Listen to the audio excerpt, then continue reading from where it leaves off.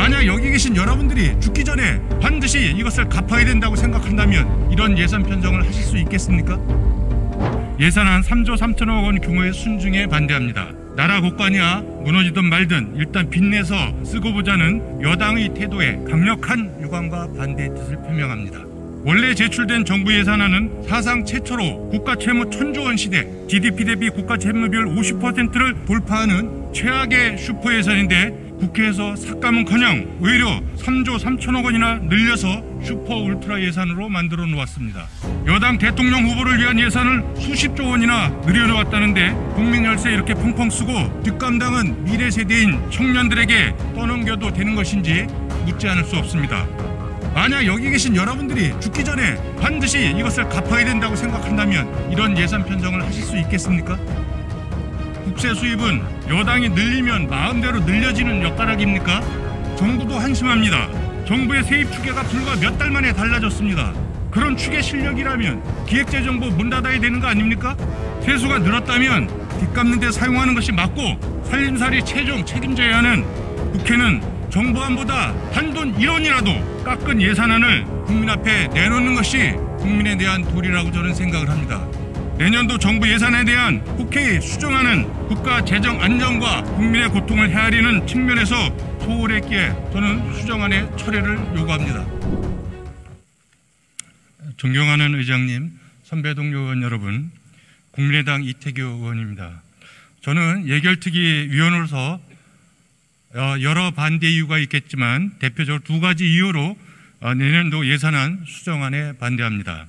첫째, 예산안 3조 3천억 원 규모의 순중에 반대합니다.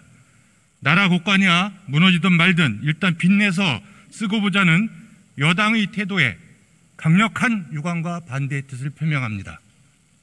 내년도 예산안 수정안이 정부안인 604조 4천억 원보다 3조 3천억 원이 늘어난 약 607조 7천억 원 규모로 늘어났습니다. 원래 제출된 정부 예산안은 사상 최초로 국가 채무 천조 원 시대 GDP 대비 국가 채무비율 50%를 돌파하는 최악의 슈퍼 예산인데 국회에서 삭감은커녕 오히려 3조 3천억 원이나 늘려서 슈퍼 울트라 예산으로 만들어 놓았습니다. 여당 대통령 후보를 위한 예산을 수십조 원이나 늘려놓았다는데 국민 혈세 이렇게 펑펑 쓰고 뒷감당은 미래 세대인 청년들에게 떠넘겨도 되는 것인지 묻지 않을 수 없습니다. 만약 여기 계신 여러분들이 죽기 전에 반드시 이것을 갚아야 된다고 생각한다면 이런 예산 편성을 하실 수 있겠습니까? 심사 과정에서 세입 예산을 4조 7천억 원씩이나 늘려놓았는데 국세 수입은 여당이 늘리면 마음대로 늘려지는 엿가락입니까? 정부도 한심합니다. 정부의 세입 추계가 불과 몇 달 만에 달라졌습니다. 그런 추계 실력이라면 기획재정부 문 닫아야 되는 거 아닙니까? 경제부총리께서 지난번 예결특위에서 제가 드린 질문에 뭐라고 답변하셨습니까? 대한민국 국가 채무 증가 속도가 굉장히 빠른 편이라고 답변하지 않으셨습니까? 그렇다면 국정운영상 불가피한 증행 요구 외에 정치권의 선심성 예산 증행 요구는 버티셨어야 되는 거 아닙니까?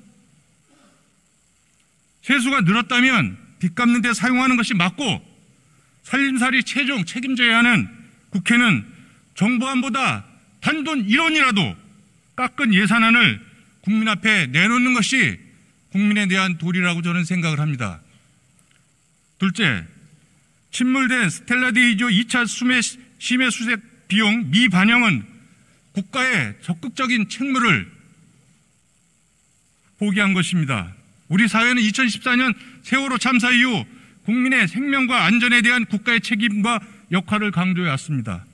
특히 현 정권은 누구보다도 이 점을 강조해 왔습니다.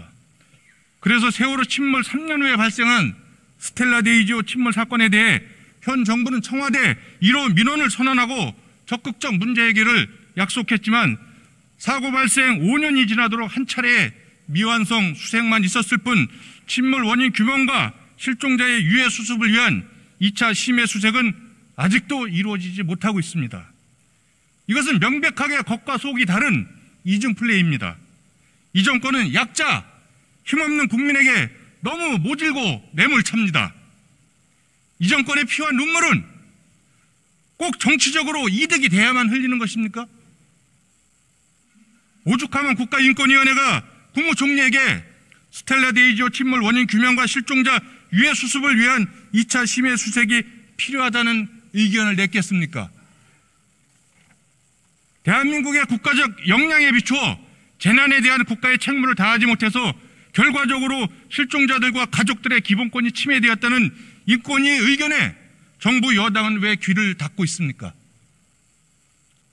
정부 관계부처가 실종자 가족들의 지난 5년의 고통과 피눈물을 모를 리 없는데 이 정권이 나서서 그분들의 한을 조금이나 풀어주면 안 되겠습니까?